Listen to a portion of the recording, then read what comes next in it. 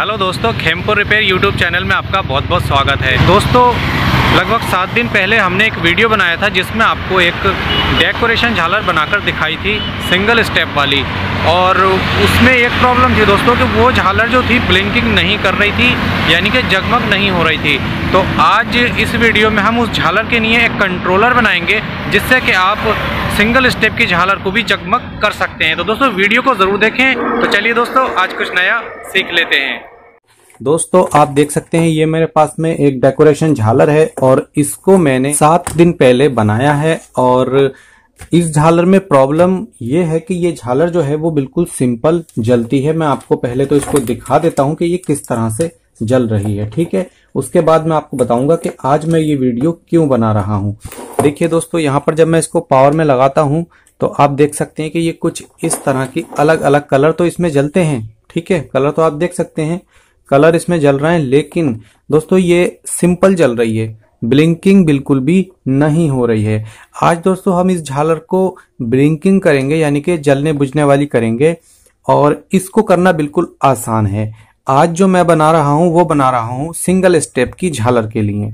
आप कहेंगे तो मैं और ज़्यादा स्टेप की झालर के लिए भी जो कंट्रोलर है, उसको बना दूँगा। और दोस्तों, अगर इस झालर का वीडियो देखना चाहते हैं तो उस वीडियो का लिंक मैं डिस्क्रिप्शन बॉक्स में दे दूँगा।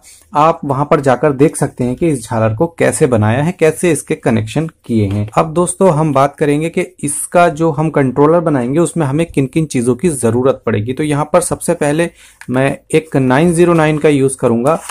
और मैं आपको दिखा देता हूँ, देखिए। ये 909 है।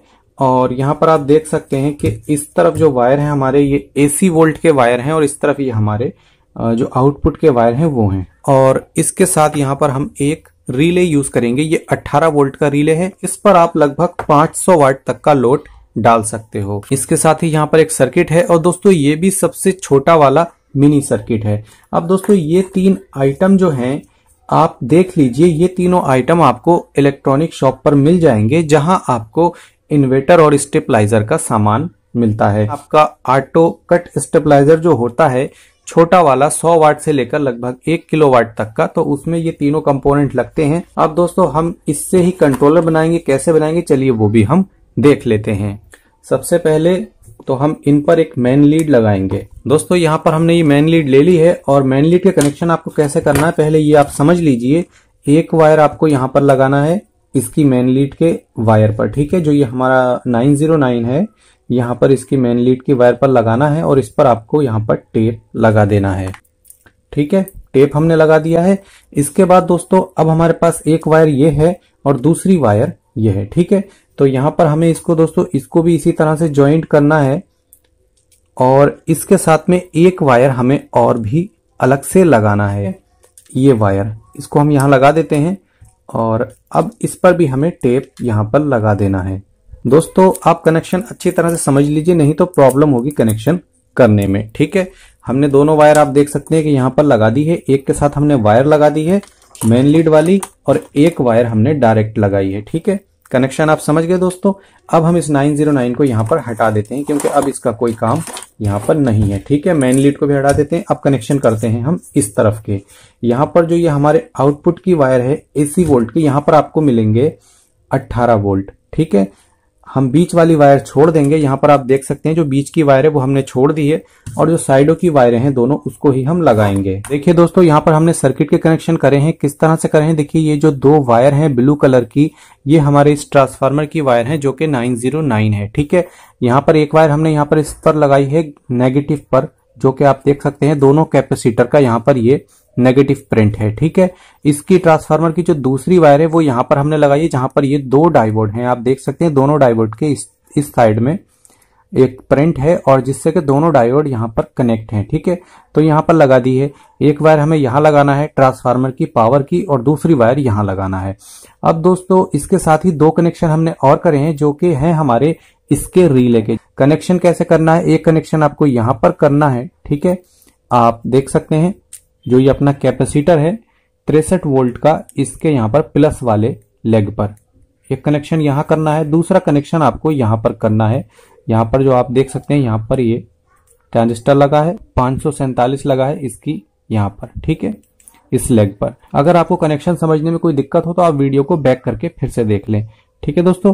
तो इस तरह से ये दोनों कनेक्शन हमने इसके सर्किट के कर दिए कनेक्शन हमारे कंप्लीट हो गए हैं। तो इन दो वायर को आपको कहाँ पर लगाना इन दो वायर को आपको यहाँ पर रिले पर लगाना है। एक वायर आपको इधर लगाना है और दोस्तों, ये वायर आप इधर की उधर कर सकते हैं, कोई दिक्कत नहीं है। ये आप किधर भी लगा दें, काम सेम ही करेगी, ठीक है? तो एक वायर आपको यहाँ लगाना है, मैंने लगा दी है। अभी एक वायर हम इधर भी लगा देते हैं। अब दोस्तों, हमारे कनेक्शन यहाँ तक कंप्लीट हो गए हैं, लेकिन दोस्तों, यहाँ पर हमने थोड़ा सा कनेक्शन गड़बड़ कर दिया है। वो कनेक्शन ये किया है कि इस वायर को यहाँ पर आपको ज्वाइंट नहीं करना है, ठीक है? तो मैं इसको यहाँ पर फ़िलहाल टेप छुटा लेता हूँ और यहाँ पर आपको एक फाइव पिन सॉकेट का यूज़ करना है, ठीक है? आप कोई सा भी एक फाइव पिन सॉकेट ले लें, देख सकते हैं आप।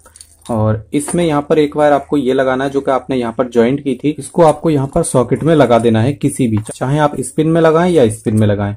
कोई सी भी पिन में लगाएँ, एक पिन में आप इसको लगा दें, ठीक है? तो मैं यहाँ पर वायर को लगा देता हूँ।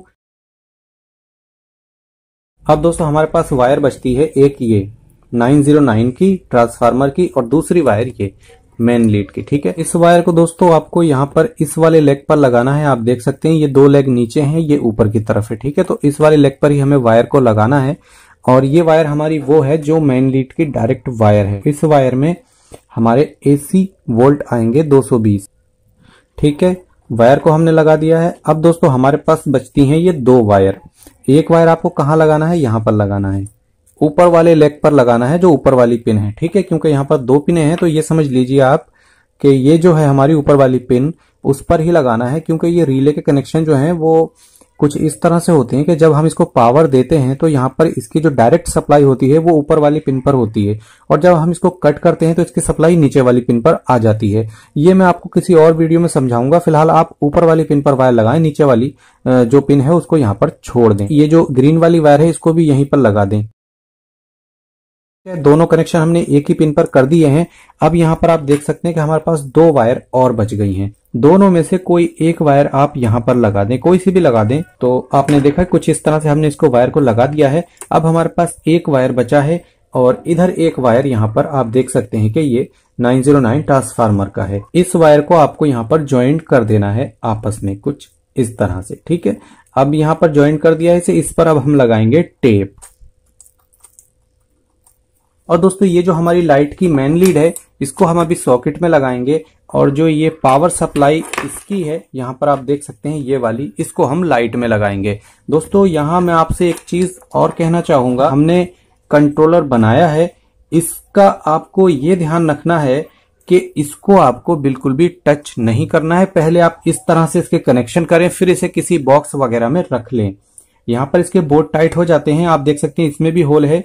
यहाँ पर भी होल दिया हुआ है और इसमें भी है, ठीक है? इसको अच्छी तरह से पहले टाइट कर लें और अगर इसको आप किसी लोहे के बॉक्स में रखें तो यहाँ पर इसके नीचे यहाँ पर कोई पेपर वगैरह लगा लें जिससे कि यहाँ पर इसके कनेक्शन जो है वो शॉर्ट ना हो, ठीक है? उसके बाद आप इस फाइव पिन सॉकेट को टाइट करें, इसको बंद करें अच्छी तरह से, उसके बाद ही आप इसको चेक करें, ऐसे करेंगे तो आपको शॉक वगैरह लग सकता है, क्योंकि इसमें सर्किट में तो एसी वोल्ट नहीं आएँगे, लेकिन यहाँ पर जो रिले के कनेक्शन है, इसमें यहाँ पर एसी वोल्ट आएँगे, यहाँ पर भी आपको दोनों लेग पर एसी वोल्ट मिलेंगे तो इस चीज़ का आपको ध्यान रखना है। तो दोस्तों, चलिए अब हम इसको एक बार चेक कर लेते हैं, और जैसा कि मैंने आपको बताया कि ये वाला प्लग आपको लाइट में लगाना है और जो ये झालर का प्लग है, वो आपको इस फाइव पिन सॉकेट में यहाँ पर लगाना है। दोस्तों, एक चीज़ का आप बिल्कुल अच्छे से ध्यान रखें कि आपको इसको हाथ बिल्कुल भी नहीं लगाना है, इसको अच्छी तरह से आपको फिट करना है, उसके बाद ही चेक करना है। दोस्तों, मैंने बोर्ड में इसको लगा लिया है, ठीक है? अब आप देख सकते हैं, हमारे जो बल्ब हैं, वो सारे एक सार जल रहे हैं, यानी कि बल्ब जो हैं, वो तेज मध्य नहीं हो रहे हैं। अब मैं एक अलाइनर की मदद से क्या करता हूँ कि यहाँ पर आप देख सकते हैं प्रीसेट लगा हुआ है तो इसको हमें एडजस्ट करना है। तो आपको क्लॉकवाइज घुमाना है, ठीक है? तो मैं यहाँ इसको इस तरीके से घुमाता हूँ। तो अभी आप देखते रहिए कि ये ब्लिंकिंग करने लगेगा, ठीक है?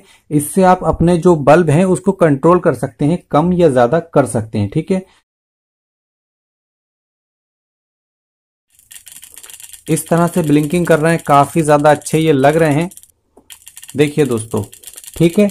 तो कुछ इस तरह से ये आप देख सकते हैं कि ये बल्ब जो है वो जल बुझ रहे हैं। अब अगर आपको इनको और ज़्यादा बढ़ाना है तो आपको इस प्री सेट को और ज़्यादा घुमाना होगा, ठीक है? और अगर आपको इसको कम करना है तो इसको आपको यहाँ पर इस तरीके से इधर को करना है, ठीक है? तो ये कम हो जाएगा। आप जैसे चाहें वैसे इसे सेट कर सकते हैं। इसको बनाना बिल्कुल इजी है। कनेक्शन मैंने आपको अच्छी तरह से समझा दिए हैं। दोस्तों, ये वीडियो आपको कैसा लगा, हमें कमेंट बॉक्स में ज़रूर बताएँ। वीडियो पसंद आया तो वीडियो को शेयर ज़रूर करें। दोस्तों, मिलते हैं नेक्स्ट वीडियो में। तब तक के लिए बहुत बहुत धन्यवाद।